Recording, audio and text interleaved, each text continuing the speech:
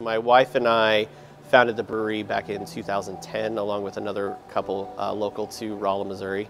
And the idea was at the time to bring this kind of new styles of beer and this new kind of passion that we had for craft beer into a community that, that really didn't have a lot in, the, in those offerings. And so we didn't really have a lot of food when we started. We did a little bit of charcuterie, so some meats and cheeses and, and the like, and we tried to source it locally because we thought that would be more fun than you know just getting anything you can get off of the off, off the the store shelf. We started building these relationships with them where we were trying to build up a little partnership. Plus then we get the benefit of having locally raised and sourced ingredients, right? So we bring that in, we try to incorporate that into our menu as much as we can, but it goes even further than that for us because we do manufacture a product and we also have our own farms.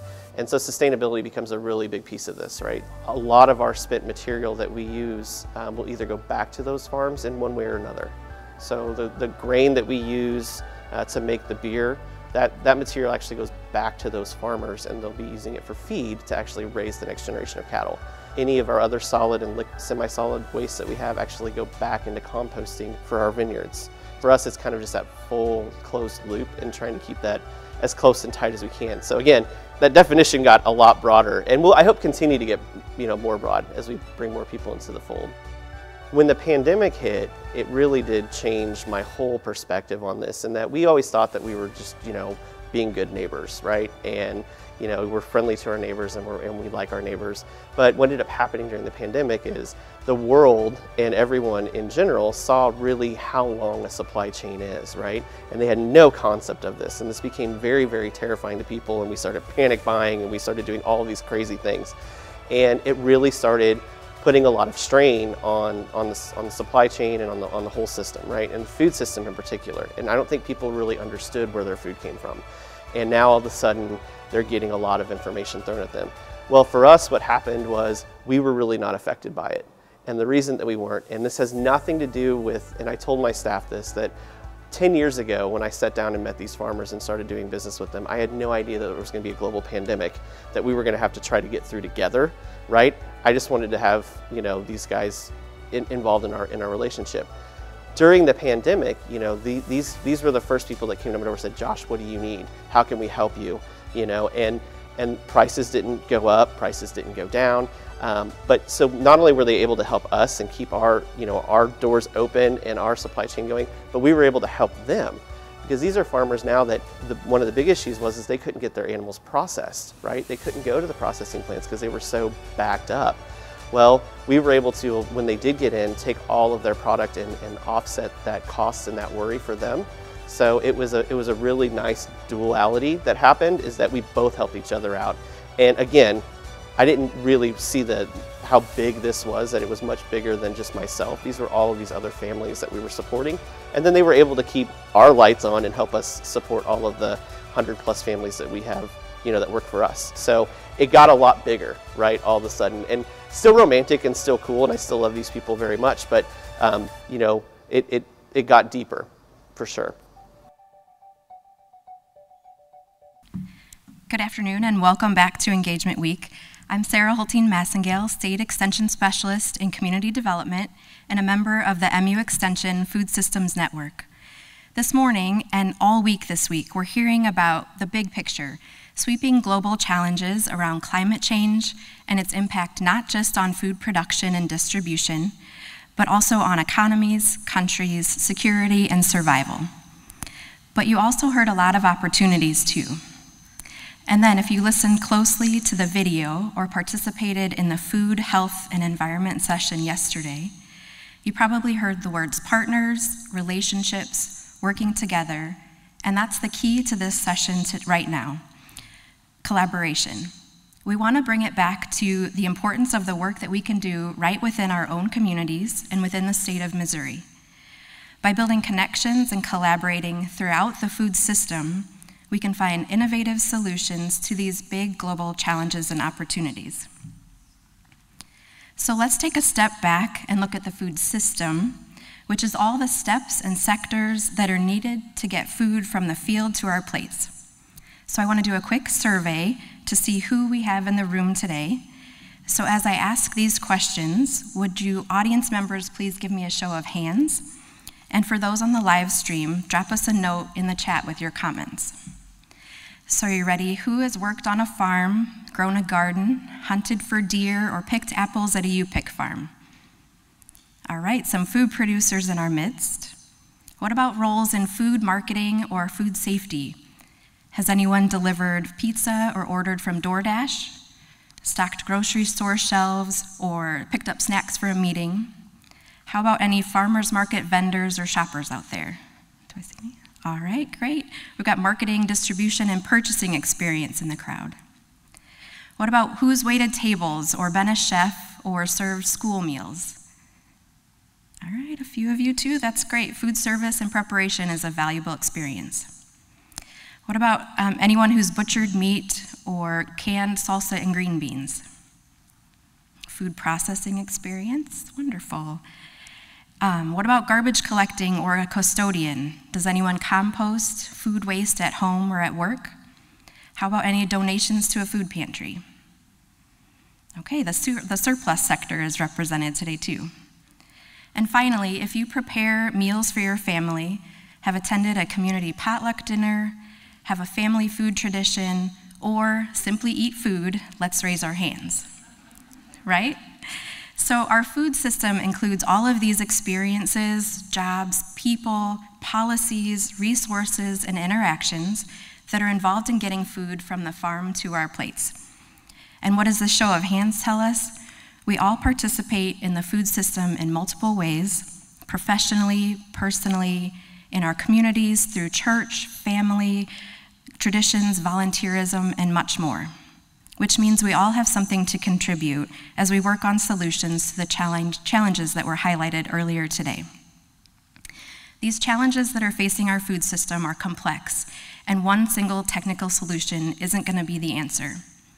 Instead, it will take all of us contributing our individual and community strengths and experiences, and then work across our networks to build resilient food systems in Missouri. This partnership circle at the center of our food systems graphic is critical, and we want to focus now on how MU Extension and other organizations around the state are collaborating, using collaboration as a strategy for success in their food system work. Before I introduce our other guest speakers, I want to share a little about the work of the MU Extension Food System Network and Planning Team. Some of you may remember that this group started in 2011 as the Metropolitan Food Systems Team with a goal of providing extension food systems programming in urban areas of the state. As the team has transitioned um, through the years, today we operate as a broad network open to anyone interested in all areas of food systems work. The network is guided by a planning team made up of a group of faculty across disciplines and you can see the current members of the planning team on the slide. Our network envisions strong and resilient community based food systems across Missouri that create positive economic impacts, enhance food access, and increase food security for all Missourians. We do this by creating a more informed, connected, and well resourced network of partners. Our network focuses on food systems topics that require multidisciplinary approaches we facilitate collaboration and training that leverages the collective knowledge and skills of not just MU Extension, but the MU Interdisciplinary Center for Food Security, our UM system campuses, Lincoln University, state agencies, growers, businesses, and community members. All of these partners are important for this work. Some highlights of our efforts We've created a food systems webpage within MU Extension that serves both internal and external audiences as a one stop shop to find resources across all the sectors of the food system. We have an email list served to share resources and improve communication. We host monthly network collaboration calls. I'm a slide off. but there we go. A little nervous up here. Um, we host monthly network communication calls open to anyone interested in food systems work to share updates, meet new partners, and explore opportunities for shared programs and research. We create and host professional development and statewide training on a range of food systems topics. Past work of the team has included developing the Stock Healthy, Shop Healthy curriculum and we host the virtual Selling Local Foods workshop annually. We also respond to requests for support, such as when last year, two team members created the water testing decision tree to help county offices better communicate with clients when they have questions about water issues. Going forward, we are building a partnership with the MU Interdisciplinary Center for Food Security and targeting our work across three main impact areas. The first is community capacity, where we're working to develop community leadership and vibrant social infrastructure um, through programs such as Missouri Eats, which is a community led planning process. Our second impact area is community based food systems. This work supports our enhanced equity and fairness in the food system, building individual, business, and community wealth, and ensures that communities can respond to food system disruptions. Finally, food and nutrition security. This is focused on support for applied research and programs with on the ground partners and community partners such as food pantries and master gardeners. So we welcome new partners in this work, so feel free to reach out to any of us to learn more. You can scan the QR code here to sign up for our listserv, or check out the attendee hub on Cvent for this session for more information and resources. Now I'm pleased to be able to highlight the other examples of this kind of interdisciplinary systems level work that's currently helping to address Missouri's food system challenges across, on the ground now across our state. We hope this work will help um, us think about other innovative ways to build more resilient food systems in Missouri. Our next three speakers will use the Ignite format 20 slides, 15 seconds per slide, for a total of five minutes for each speaker. It's a quick dive into their great work, and it's a challenge to put these kinds of presentations together. If you'd like to learn more, after the presentation, our planning team and the three guest speakers will be out in the lobby, and we'd love to continue the conversations about their great work. First off, we'll welcome Jennifer Lutz, a field specialist in agriculture, business, and policy from McDonald County. Then we'll welcome Juan Cabrera Garcia, state specialist in horticulture, who works jointly with MU Extension and the University of Missouri, Kansas City. And then finally, Donna Martin, Public Health Program Manager at Mid America Regional Council, will share our final Ignite presentation. So let's welcome Jennifer Lutz.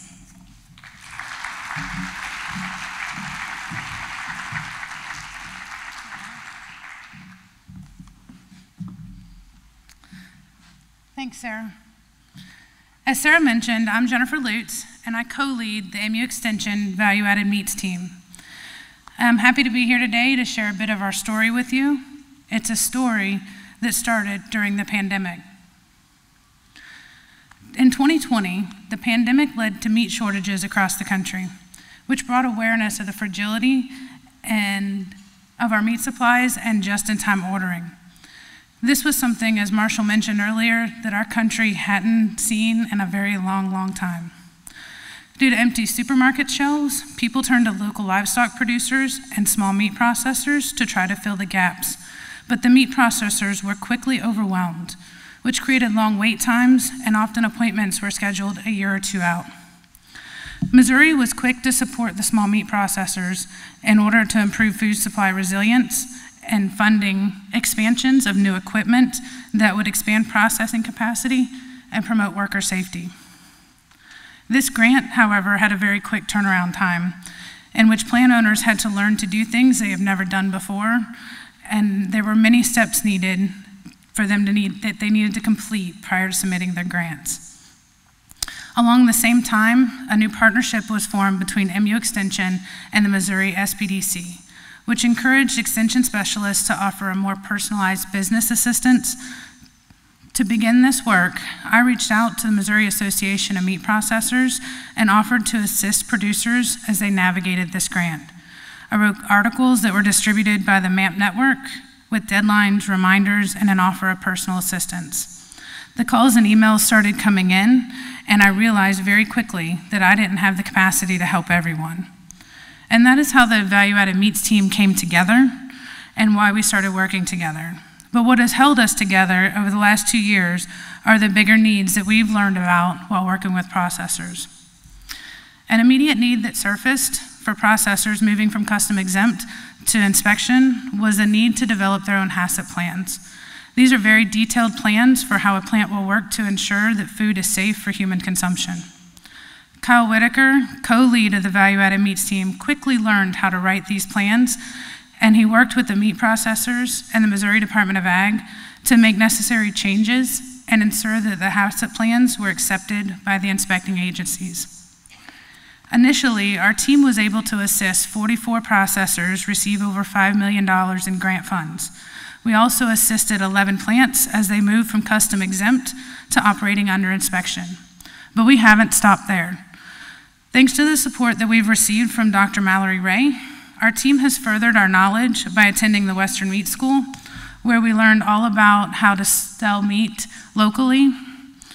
Uh, Mallory also supported our group when we saw the need for more public guidance to ensure that customers understand the process of purchasing and processing an animal locally. She assisted us in publishing our first guide sheet, which has been well received by producers, consumers, and processors. She worked with her team on campus to design social media posts and highlight the new guide sheet and the work our group is doing. And she has sought and received grants that will further support our work in the future.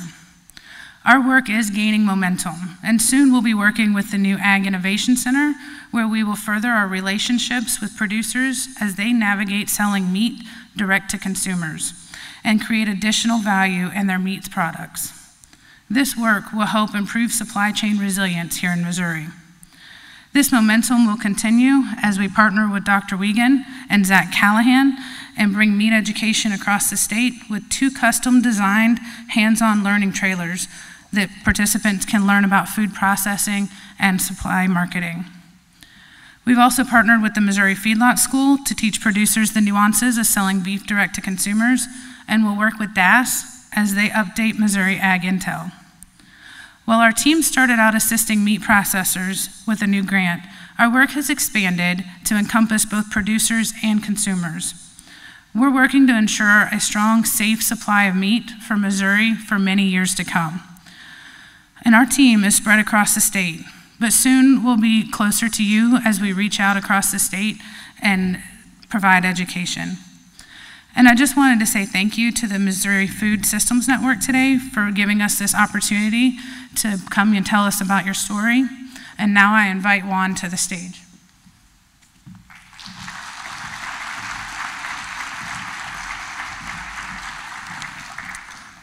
Right. Um, hello, my name is Juan Cabrera, and as you heard earlier from Sarah, I work both for MU Extension and UMKC.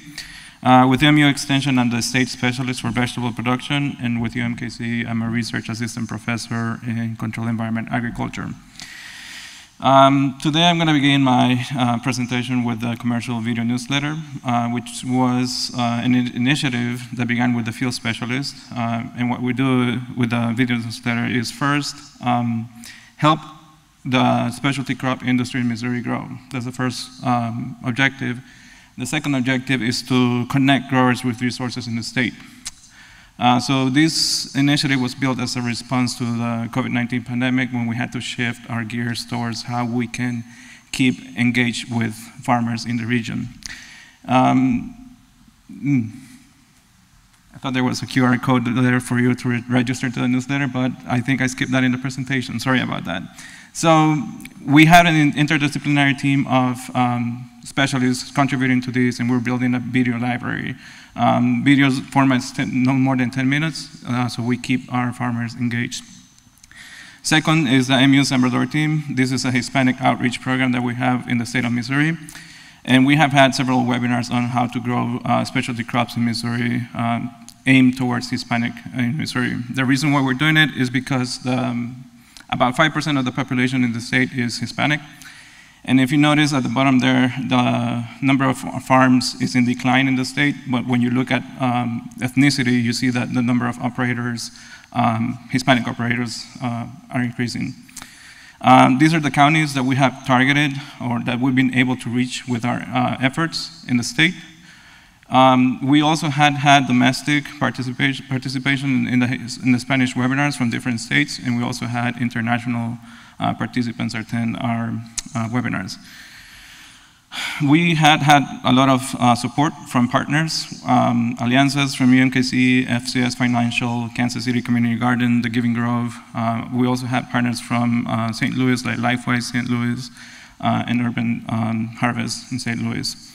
Um, basically, what our, we do surveys, and our participant, participant tells us that they use, the international participants tell us that they use their, our programs to develop local programs for uh, people in their countries. And this is an example of some, uh, of a program in Nicaragua.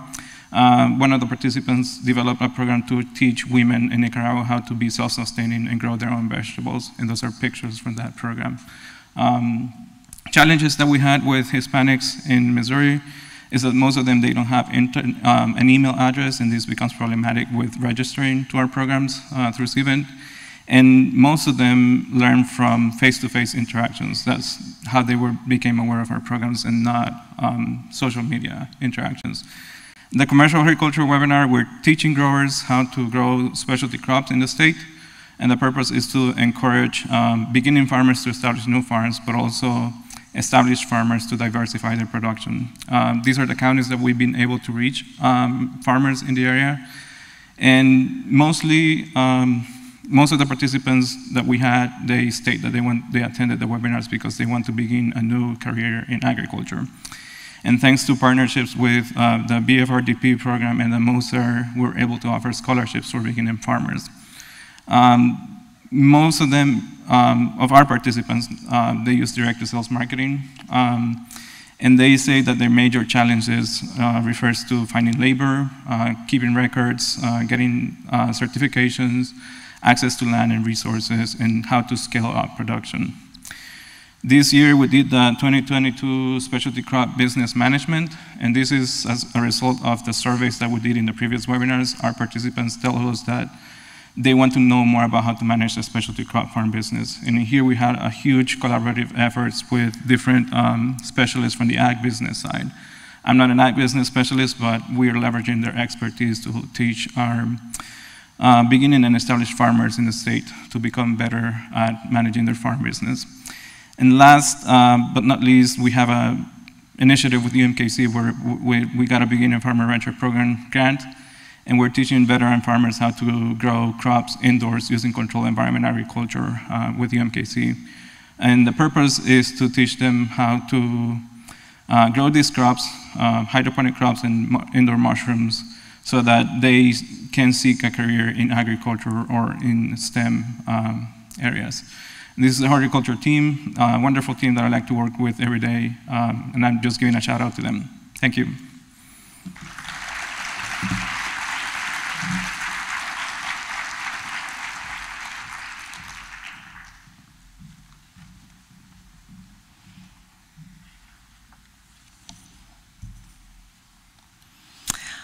My name is Donna Martin, and I am the project director for Double Up Food Bucks, which is a healthy food incentive program giving SNAP recipients greater access to fresh fruits and vegetables.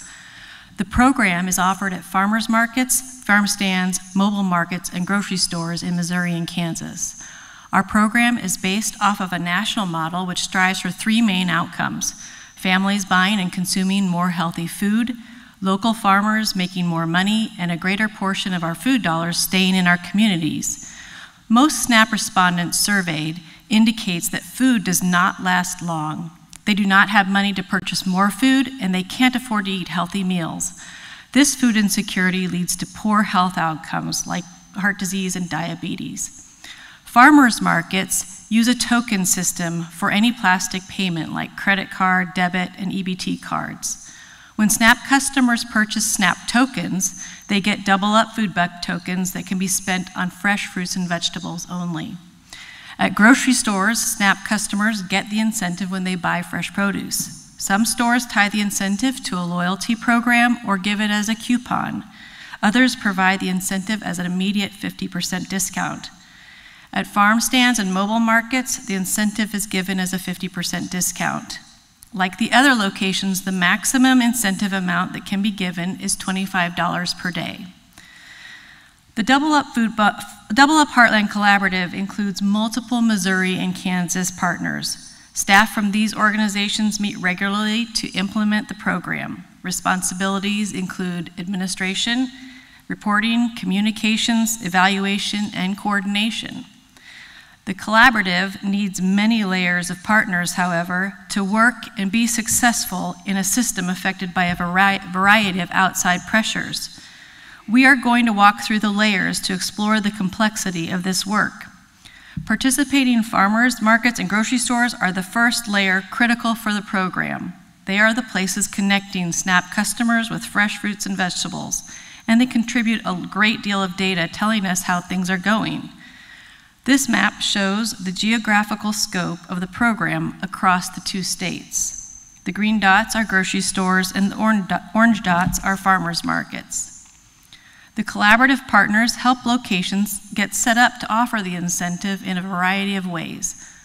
All locations are required to offer locally grown pro produce options, so they rely on the next layer of partners, local fresh fruit and vegetable producers.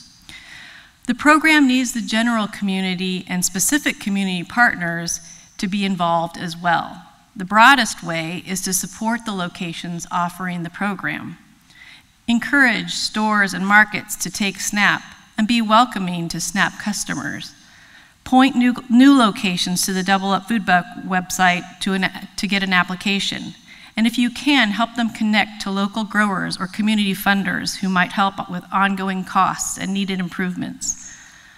The community can also help the program connect with SNAP recipients. Community partners that work with people who receive SNAP benefits are invaluable because they often have trusted relationships with those they serve. Community partners can distribute the Double Up Food Buck brochures and refer people to our website where they can learn more. Our website has a link to a map that helps SNAP customers find the locations closest to their home. Double Up Food Bucks has made an, a positive impact on SNAP recipients. Over the last seven years, nearly $6 million of Double Up Food Bucks have been distributed, and of that, over 4.8 million has been redeemed, and nearly half of that in the last two years. The process, the program is increasing the amount of produce being consumed, lowering the amount of junk food people are eating, and Double Up Food Buck participants are less likely to report experiencing food insecurity. Farmers markets and farm stands report an increase in money being made while selling more fruits and vegetables. They have a new and more diverse customer base and more repeat customers. Grocery stores have received positive feedback from their customers and employees and the program helps call attention to their locally grown items in the produce sections. We hope that the Double Up Food Bucks program is one element that, that keeps stores and farmers markets strong in their community. Thank you so much for allowing me to share information about the Double Up Food Bucks program and the many people and programs and partners that are involved. Thank you.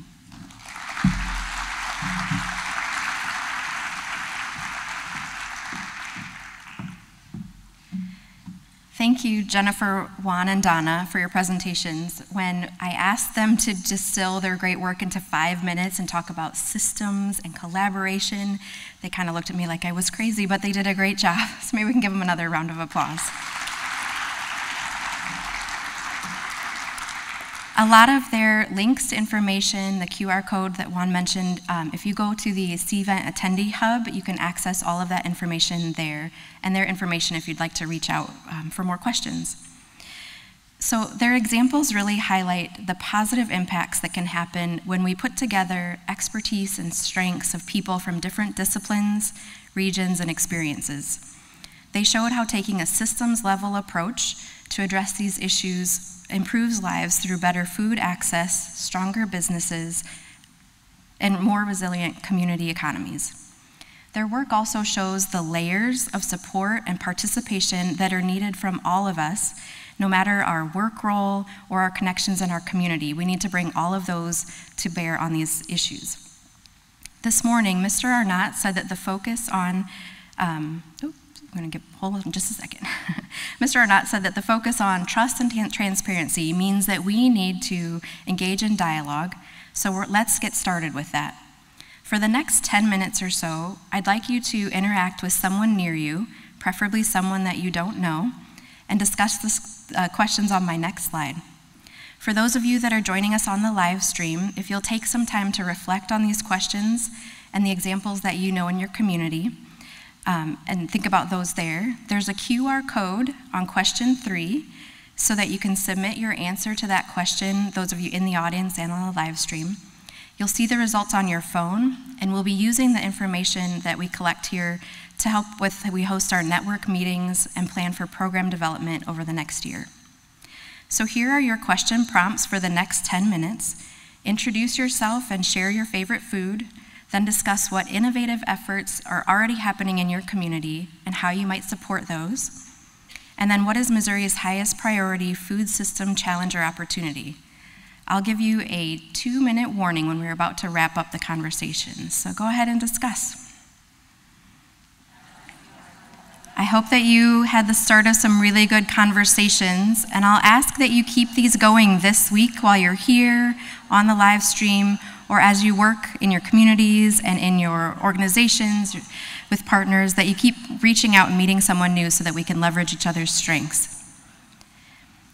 So, our goal with this session today was to highlight that we need to find solutions that focus on the food system, not just a single sector or program. And that means finding ways to collaborate across the partners and the sectors to bring our expertise and experience together from many dis different disciplines and partners. That's what will help us turn these big, complex food system issues into opportunities and make, make progress towards resilient community food systems in our state. We hope if you're interested to continue these conversations as extension or as partners throughout the state, that you'll join us for one of our monthly network meetings in the future. Remember, the network is a shared learning opportunity to connect as much or as often as you'd like, to learn more, to share your work, or explore opportunities in Missouri to work on food systems. If you'd like to be part of the network, um, you can scan the QR code here to sign up for our listserv. We'll also have information available on the Engagement Week Attendee Hub where you can view the recordings and access those additional resources from our speakers. For those of you that are here tomorrow, please plan to join us at 10:15 at the Extension Strategy session and find a spot at a table with a topic of interest for some creative visioning about how Extension can strategize and plan for our food systems work in the next year. And then on Thursday, we'll hope you'll all join us again virtually as we take a deeper dive into food security during the All Things Missouri live stream session. In just a minute, I'll welcome Dr. Stewart back, who will share a very exciting announcement to wrap up this session. But first, a few reminders. After Dr. Stewart's announcement, there will be a half hour break. If you'd like to connect with any of the members of our planning team or the guest speakers today, we'll be out in the lobby and we're happy to visit with you and chat more about all of the work. The next session begins at 3 p.m. here in Jesse Auditorium. And with that, I'll welcome back Dr. Stewart.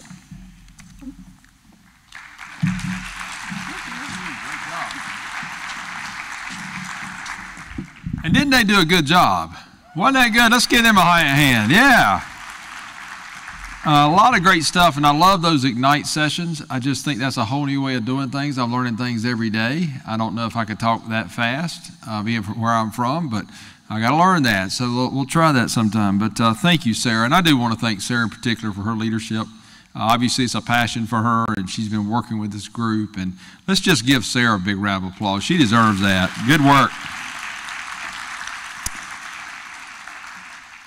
As she said, uh, we got a lot of work to do in this space, and I really believe, in fact, today had just personally, so you can know this, had lunch with Charlie and with Jason and some others, and one of the things that Jason left us with to think about is he, and he didn't know we were doing this necessarily, but he said, You've got a real opportunity in this food systems piece. He said, There's just so much you can do in agriculture, food, nutrition as it relates to this, and he sees this as one of the real areas to move into. Now, I was really glad to hear him say that because what I'm getting ready to announce, so it's not like a well kept secret or anything, uh, but we're going to announce this officially today that we are in partnership with Lincoln University announcing a new food systems uh, position. It'll be a statewide specialist position to work in this area. Uh, we're working out the details now. And what it will mean is that we're in partnership with them. As you know, Lincoln University has many great things that they do in research and innovation around specialty crops and some of those areas, as well as many of our faculty do. So you can look forward to that. And we hope to have that on the street sometime in November. So look forward to that. We're glad, as Dr. Choi talked about, we're hiring people. So if you know people who might be interested as we get that out, uh, let us know. Uh, Dr. Collenbach, uh, Dr. Higgins, and our colleagues at Lincoln University are working on that. So you can give a round of applause for getting a new position out there. We're excited about that.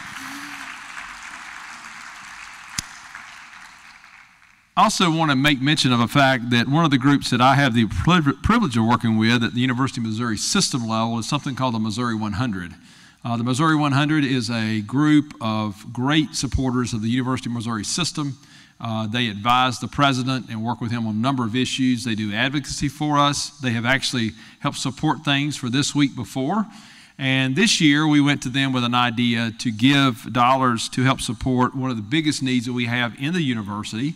Uh, many of you may not know this, but there are really two big issues that every institution in America are facing. One is food insecurity uh, for students. Uh, you may not think about that, but a lot of students come here and are food insecure. And because of that, like at Mizzou, we have a food pantry, the Tiger Pantry. You'll go on any of the four campuses, you will find a similar operation.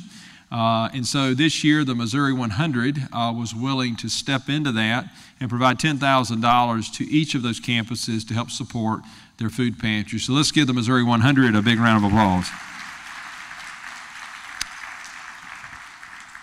I did mention that there are two issues, and I want to say this, and this is something just for awareness. Uh, we're glad to have you on the campus today, those of you that could be with us, whether you be here or be on one of the other campuses. We're delighted that you could be a part of it. Uh, there are really those two, these two issues, the food insecurity. The other one is student mental health. Um, and it's something that all of us need to be really aware of. Uh, it has continued to worsen, if you will. Uh, both of those issues have. They are not disconnected. There is an overlap in some of that. So as you say that, you know, you come to a big institution, you walk around the campus, you see all the wonderful things. I think it's always important to keep that in the back of our mind that there are many students who are here doing their very best, but they're suffering from those two issues. And I'm really proud of the work that MU Extension, the University of Missouri, University of Missouri System, our sister campuses are also doing in that space around food insecurity and mental health for our students.